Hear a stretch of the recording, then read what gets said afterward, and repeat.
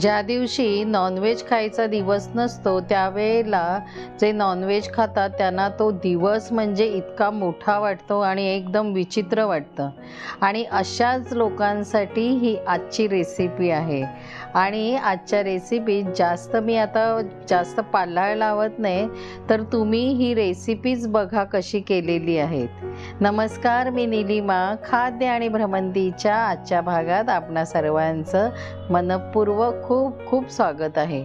तुमची उत्सुकता जास्त न ताणता आपण रेसिपीला झटपट सुरुवात करूया. कच्च्या केळ्याची कापं करण्यासाठी इथे मी ही कच्ची केळी घेतलेली आहेत आणि ह्या केळ्यांची वरची जी साल आहे ती मी काढून घेतलेली आहे.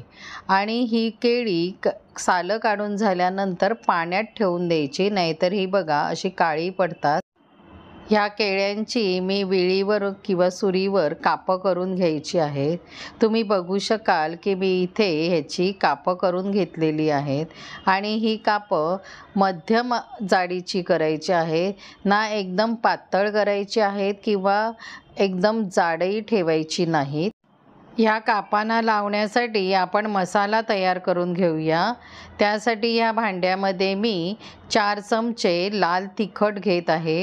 हे मी घरी बनवलेलं बेडगी मिरचीचं लाल तिखट आहे.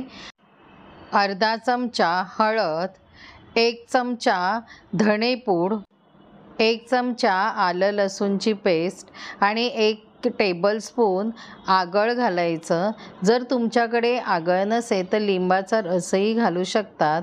ह्यामुळे ही जी कापं आहे ती आंबट आणि तिखट अशी याला चव येणार आहे. थोडासा याला कुरकुरीतपणा येण्यासाठी ह्यामध्ये आपण तांदळाचं पीठ घालायचं आणि नंतर चवीनुसार मीठ घालायचं आहे. आपण केळ्याच्या कापांना मीठ लावलेले नाही त्यानुसार तुम्ही मीठ लावून घ्यायचं आहे. आणि हे सर्व एकत्र मिक्स करायचं. मिक्स करताना ह्यामध्ये पाणी घालू नकात ही पाण्यामध्ये ठेवलेली केळीची कापं पाण्यातून निथळून ह्या ताटामध्ये काढून घ्यायची आहेत. आणि शक्यतो ह्या पा कापांना पाणी राहणार नाहीत. अशा प्रकारे आपण काढून घ्यायचे आहेत. आणि हा बघा मसाला मी सगळा मिक्स करून ठेवलेला आहे. आणि हा मसाला ह्या केळ्याच्या कापांवरना व्यवस्थित असा लावून घ्यायचा आहे. आणि हा मसाला सुका असल्यामुळे पटकन लागणार नाही. तुम्ही बघू शकाल की मी ह्या केळ्याच्या कापांना हा सर्व मसाला कशा प्रकारे लावून घेतलेला आहे. हा मसाला कापांना लावायला थोडा वेळ लागतो पण ज्या वेळेला तुम्ही ही केळीची कापं फ्राय करून खाल तेव्हा ह्याची चव खूपच छान लागणार आहे. थोडं कष्ट केलं की त्याचे फळ हे खूप चांगलं मिळतं. कापानावरून लावण्यासाठी इथे ताटामध्ये मी हा बारीक रवा घेतलेला आहे. आणि जर जाडा रवा तुमच्याकडे असेल तर तो मिक्सरला लावून बारीक करायचा. या रव्यामध्ये थोडंसं लाल तिखट घालायचं म्हणजे रव्याला थोडी चांगली चव येईल. आणि थोडंसं चवीनुसार मीठ रव्यामध्ये घालून घ्यायचं. आणि हे सर्व ह्या रव्यामध्ये व्यवस्थित मिक्स करून घ्यायचं. आणि त्यामध्ये मसाला आपण लावून ठेवलेली क केळीची कापं आहे ती रव्यामध्ये चांगली घोळवून घ्यायची. म्हणजे रवा हा ह्या कापांना सगळीकडे व्यवस्थित असा लागला गेला पाहिजे. या पॅनमध्ये मी तेल गरम करत ठेवलेलं आहे. आणि तेल गरम झाल्यानंतर ह्यामध्ये ही जी केळीची का रवा लावून ठेवलेली केळीची कापं आहे ती ह्यामध्ये सोडायची. आणि साधारणतः एक ते दीड मिनिटवर एका बाजूने ही मध्यम आचेवर भाजून घ्यायची. गॅस जास्त फास्ट ठेवायचा नाही म्हणजे ही कापं आतून शिजली जाणार नाहीत. ही आता कापं एका बाजूने भाजलेली आहे तेव्हा ही कापं आपण परतून घेऊया? तुम्ही बघू शकाल की ही सर्व कापं मी दुसऱ्या बाजूला परतून घेत आहे.